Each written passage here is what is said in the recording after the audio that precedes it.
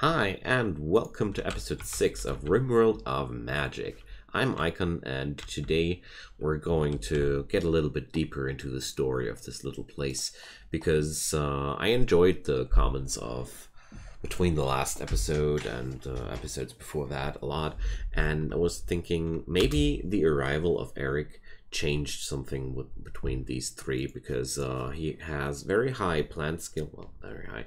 Pretty. He's pretty talented at these things, which are typical for a farmer, I'd say.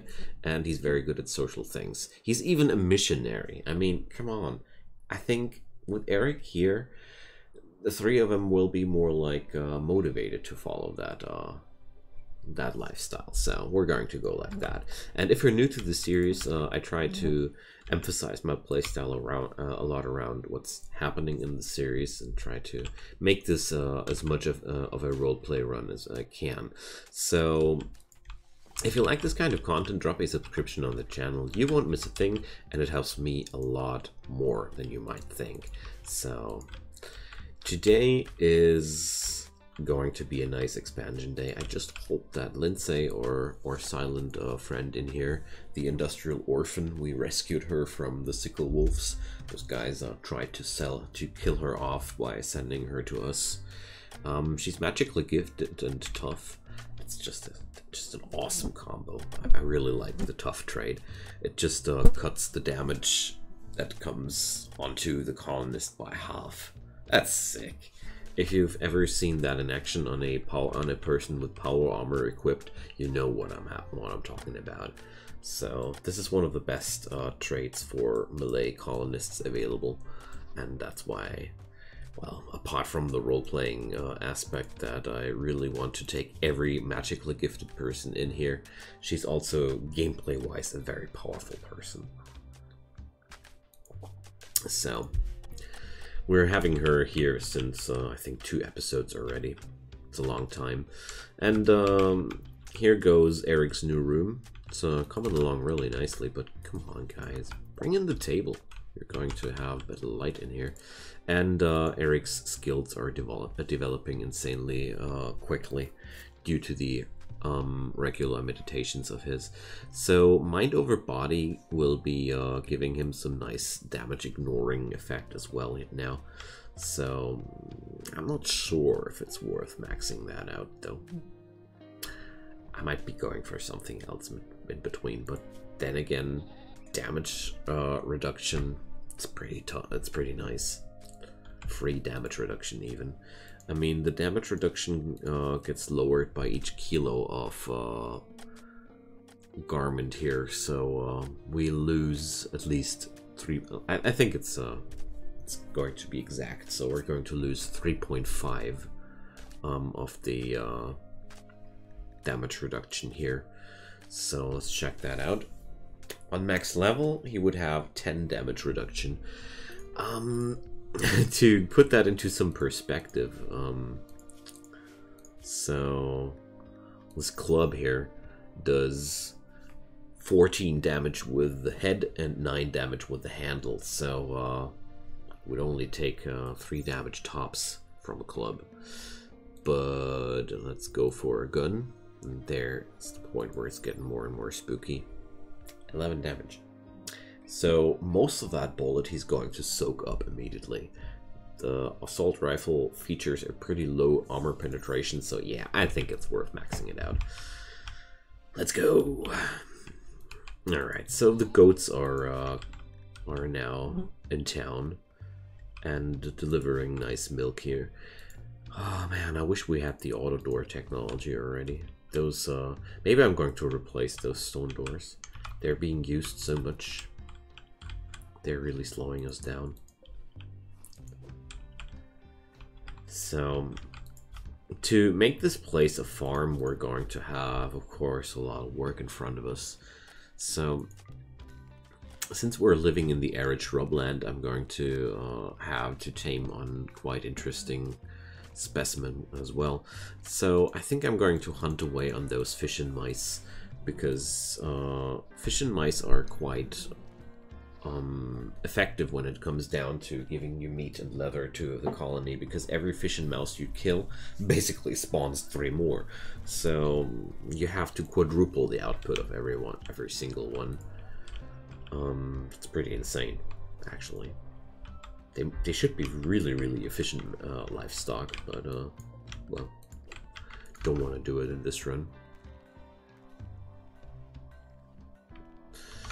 Alright.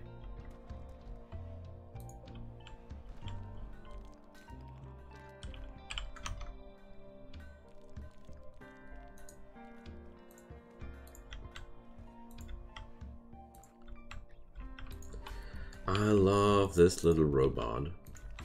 Seriously. I mean, that thing is just uh, doing so much work here for us.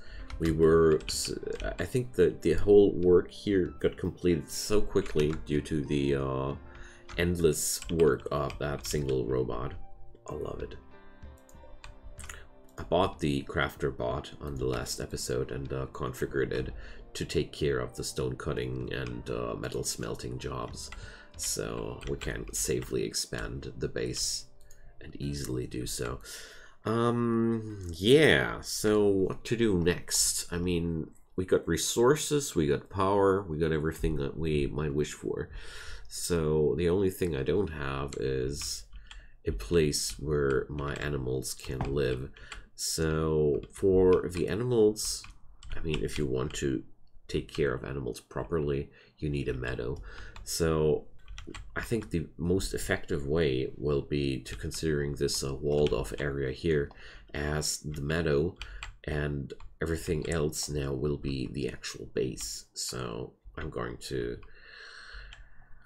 ask myself how would these three people go forward from here because uh, this is the best safe place for the animals to be taken care uh, to be taken care we have food we have walls but uh, how do we tackle this um, as a base? I think I think we should expand this way towards the power. And of course, I'm going to think about how and where we're going to fight and how this whole thing looks like in a larger scale. But I think I'm not going to find the answer today to that. Definitely not. But I think there's one thing we can today uh, build up, and that's um, some party room. Because that's something they certainly deserved. So I think I'm going to consider this part of the base kind of like um, a, a mansion with, with a meadow connected and maybe we're going to expand over that when we get more people. That would be the logical thing that you would do, right? If you're a, a bunch of four people, you would try to uh, build a a bar, uh, a large, uh, a large land house, easy to defend, giving everything you need, and it will eventually grow into a settlement when more and more people arrive. So I think that's what I'm going to do, and try to build around that as efficient as possible because uh, we want to survive. so let's do that. Um, there's enough sandstone available to build that thing here from the scratch. And let's see what kind of flooring is available. What looks like a what will look like a room to have fun with amethyst floor? Are you kidding me? We have um wow. When did I find that? Must have been a, a update from my patches from my uh from my flooring mods. They don't get updated regularly.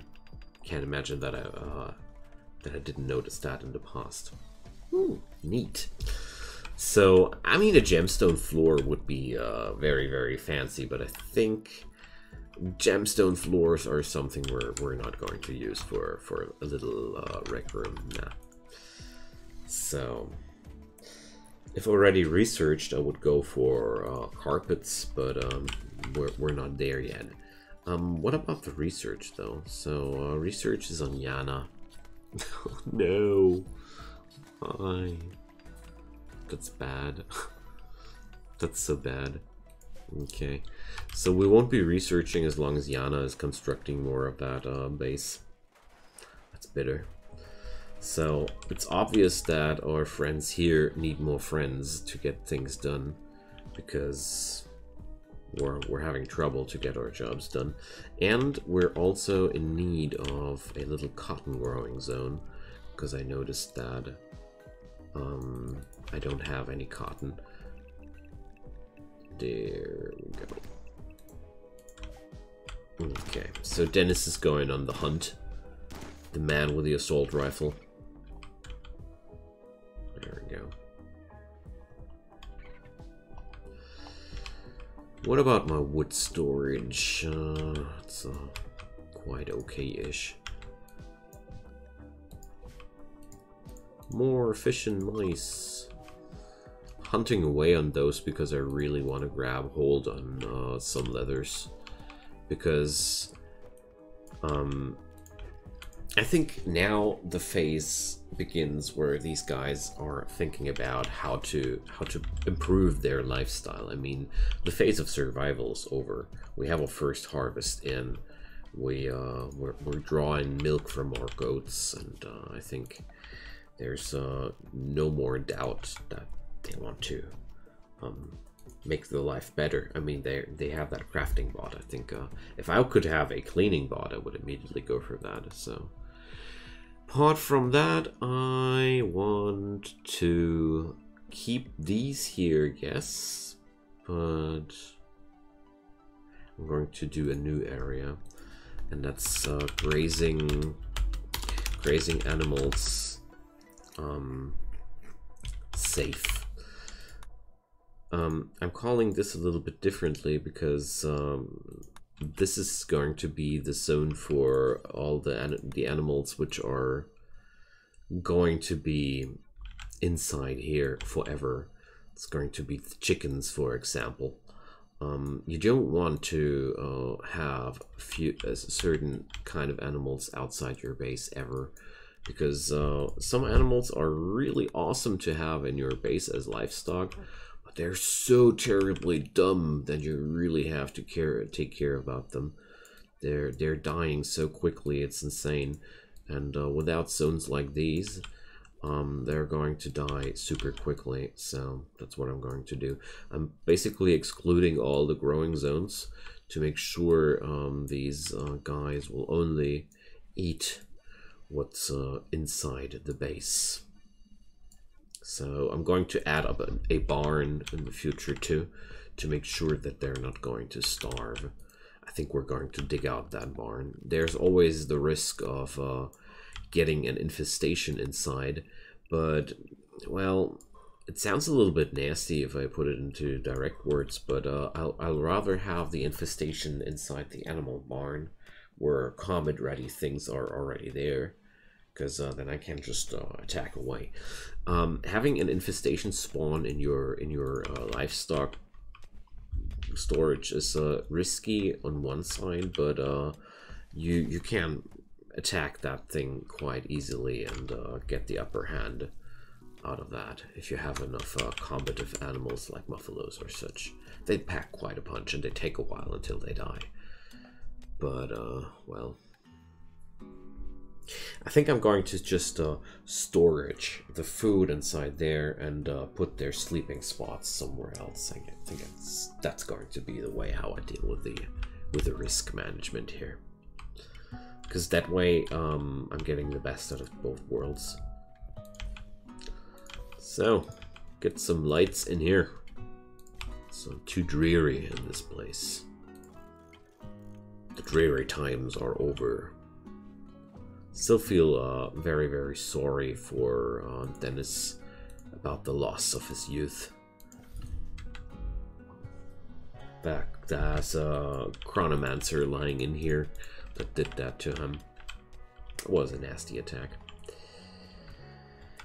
So, uh, yay, the light of civilization. Okay. Wild Thyme. I really like like the uh, gardening uh, herbs mod a lot. And uh, now we have that kitchen finally installed. Awesome. So I want some cheap metal to uh, floor that room with. Not exactly steel, something like tin. That's exactly what I'm looking for. These extra metals are uh, bringing some variety into the steel and plasteel monotony of the base game, which uh, is okay. I mean, I, I love the vanilla game. I play it a lot because I think RimWorld is fun with mods, without mods. Uh, uh, just awesome. But if you go without mods, I, I, usually go for some quality of life things included, which, uh, from my personal taste, should be part of the game, like a mini map. Come on. It's insane that we have to patch in a mini map via mod, in my opinion, but whatever. So the beauty of sandbox gaming. Build it the way you like. Alright, so I'm really uh, keeping an eye out for animals uh, which are which I want to tame away. Um, we could tame boom rats and milk them for their uh, camp fuel, but I'm not too interested. The ostrich are well.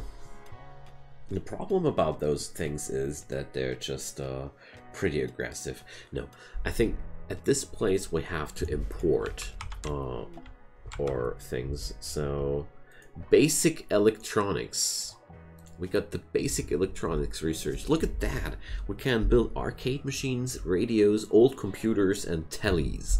So uh, that's an interesting turn of events. So with that kind of te technology, I, I really uh, think they're going to be...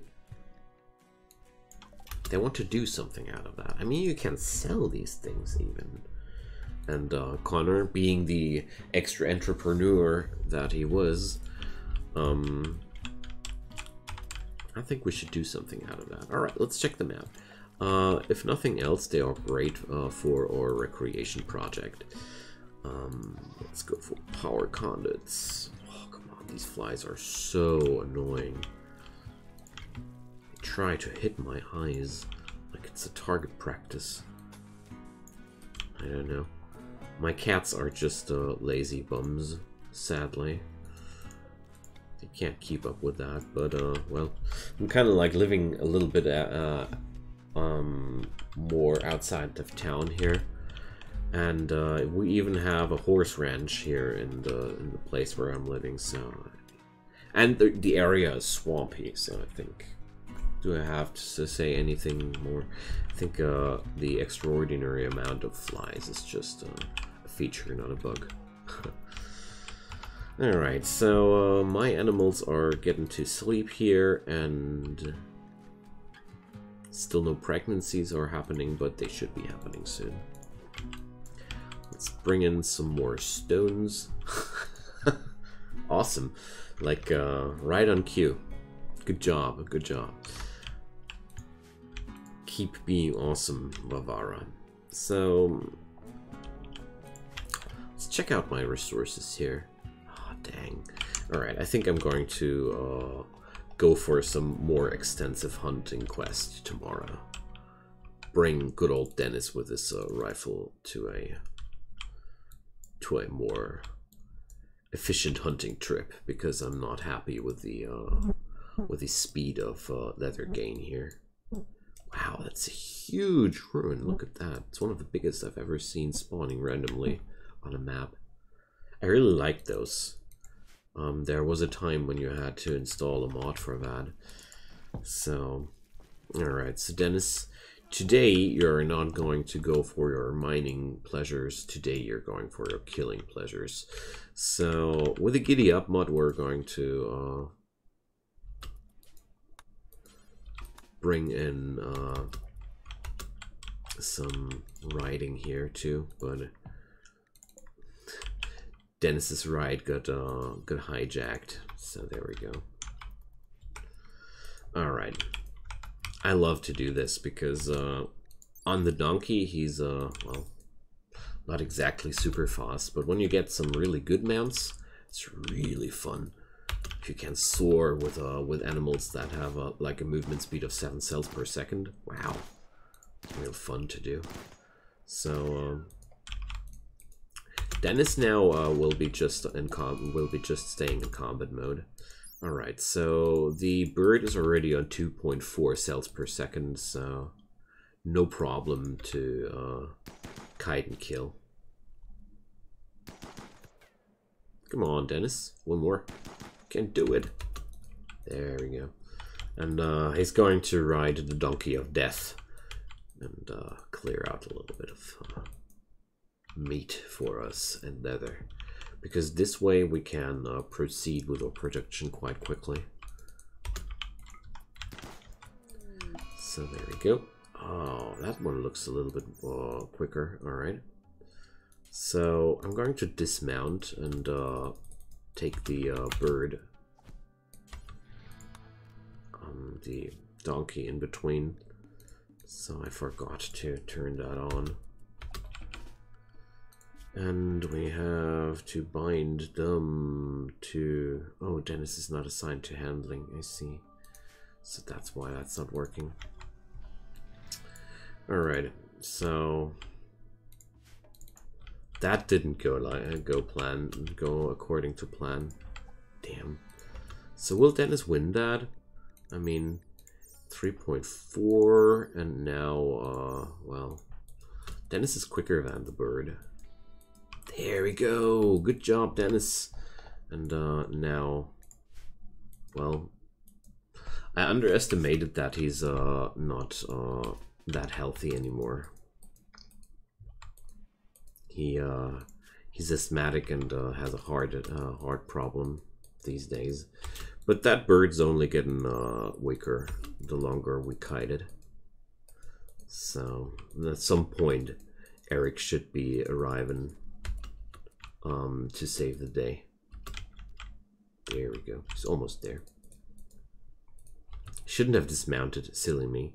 I really thought that uh, I would be able to uh, bring the um, the donkey to combat, but uh, that was obviously not the case. So I'm going to dragon strike on the uh, on the ostrich here. Oh no, we gotta fight. We gotta scratch. There we go. So let's go, Eric. Come on, can't do it now.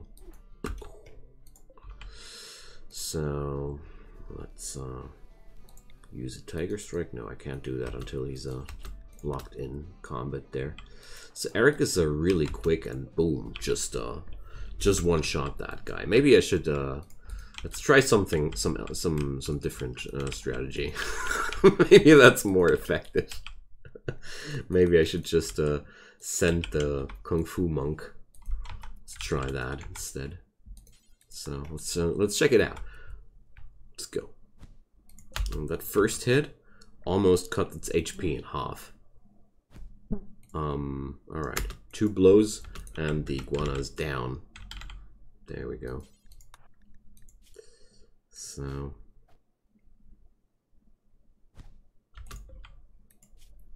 Same thing. Nice.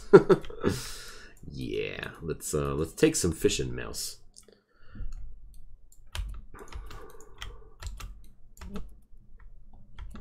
So uh, nobody's patching up uh, Dennis, just uh, as was to be expected. All right, there we go.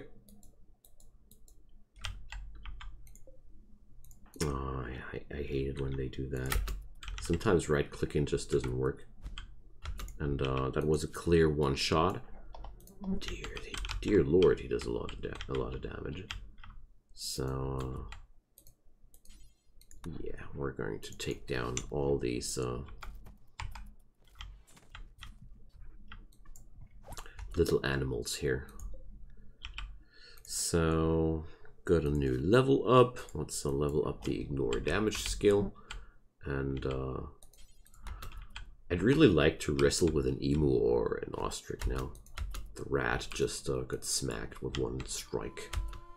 So that's fun. That's an insanely uh, effective yet uh, unconventional way of hunting for your colony. Like, uh, All right, let's uh, let's go. Man against Emu. Should go for the Dragon Strike first, or what does it do? Um. So the closer an opponent is, the more damage. All right. So uh, let's do the Tiger Strike. All right. That uh, even does some bleeding. And now we go for the Dragon Strike.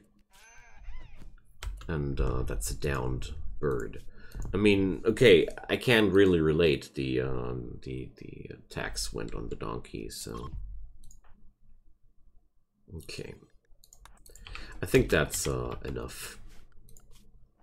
I made my point here. Yana is hauling all the uh, hunting uh, things right now away. I mean, it's quite good. We we are getting some leathers into into the town now, and with those leathers, I can make things that we can sell away. But first off, um, we we can't be proper farmers without cowboy hats. So let's do ourselves some cowboy hats. I mean, oh wait a sec. Not like this. Um, I don't want the crafting bot on these here. Oh, well, I'm going to let him do that one uh, hat because he already started that. If I would cancel it now, I'd lose some resources, and I want I don't want that. Um, here we go. It's a crafting level one bot. I, I don't I can't expect any good uh, results from that. No, no. Yana is having uh, a level a crafting level of seven, and she's going to be the person doing that nobody else. And obviously Eric is the person uh, killing stuff for the colony and nobody else.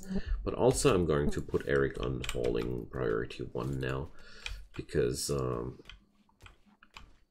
I think Yana won't be getting to that job now that I uh, ordered the production of uh, clothing on her. There we go. So, she does a good quality out of things. That's more like it. Yeah, there we go. With this high movement speed and everything, I think uh, Eric is, of course, the best choice for a hauler. Oh man, I love this mod so much.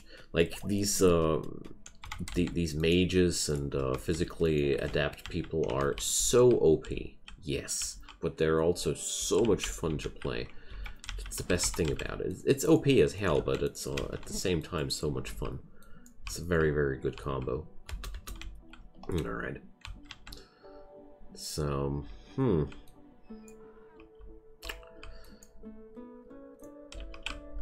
What about Dennis, though?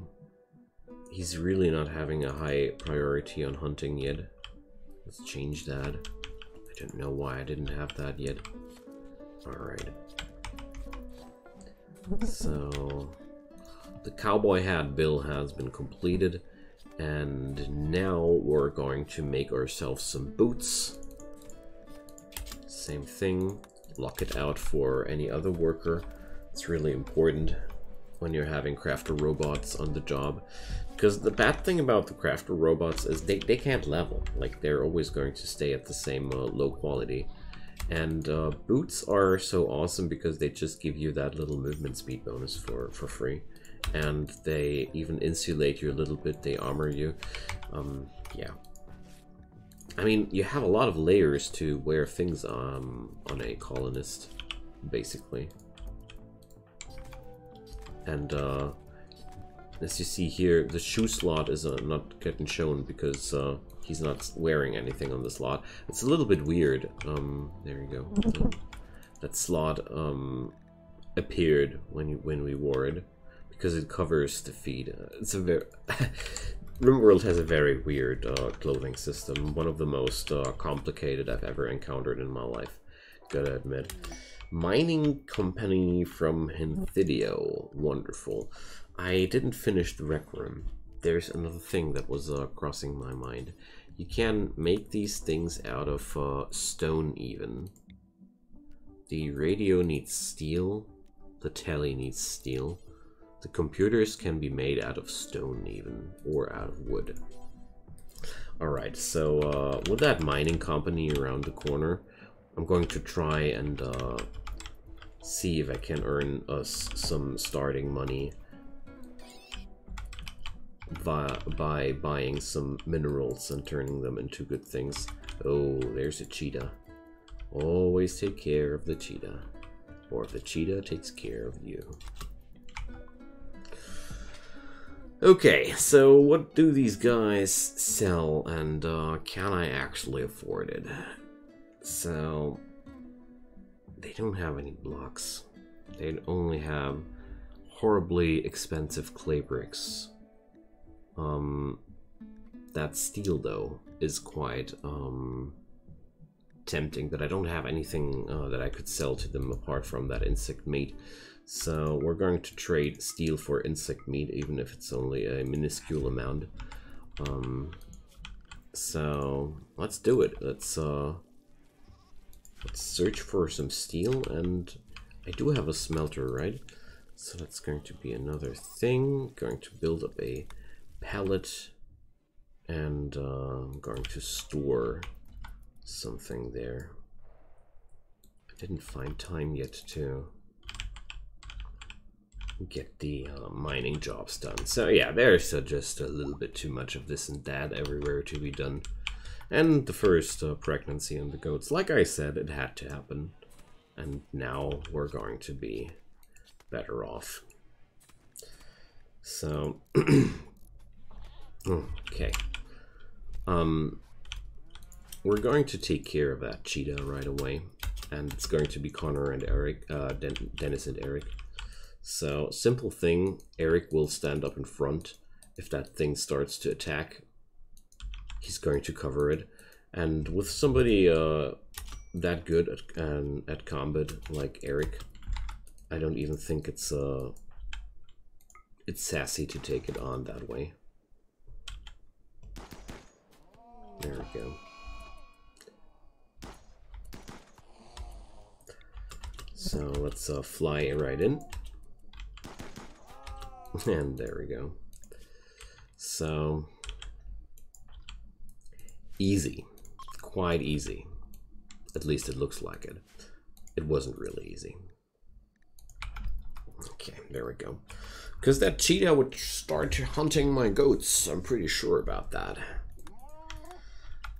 Alright, so let's try and make ourselves some computer. But first, um, I'm going to select some floor finally.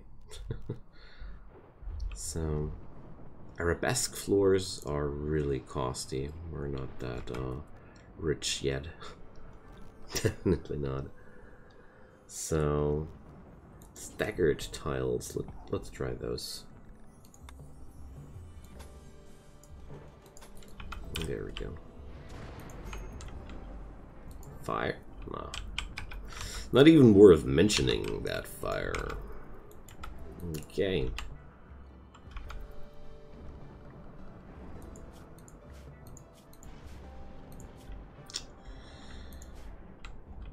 There we go.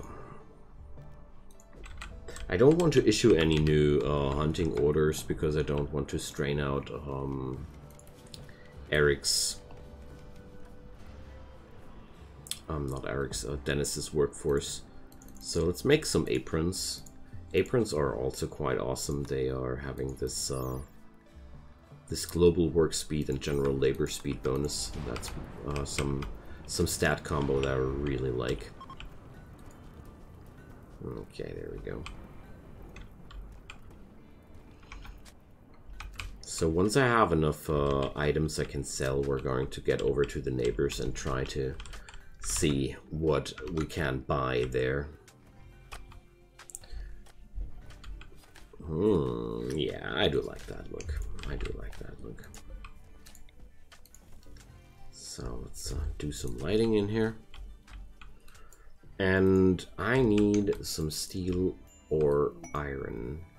Lindsay! Hey, welcome. Welcome to your new home um, your new old home. So Lindsay is going to uh, be a big help, I guess. So she's uh, very good with plants as well, or go she's going to be at least. And uh, she's going to cook for us.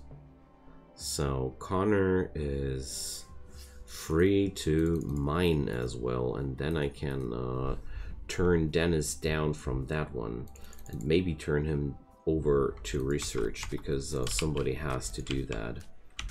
And um, Yana is most of the time not getting to that job. Alright, so she's considered a hunter. I don't consider her a hunter. She's uh, tough. I I want to have her um, melee at one at some point, and uh, she's not meant to be mining, for sure not.